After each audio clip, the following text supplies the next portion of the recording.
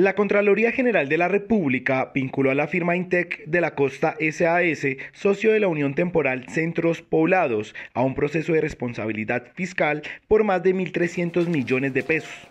por irregularidades en la construcción de un puente militar en el departamento de Sucre, donde está perdido el anticipo de más de 1.200 millones de pesos entregado al contratista Consorcio Puente San Jorge 2019. Aparte de un mal manejo del anticipo, la Contraloría ha determinado también que las pólizas del contrato están vencidas y no se constituyeron correctamente. Por último, el ente de control visitó la obra a comienzos de 2020 y verificó que estaba abandonada y sin ejecutar.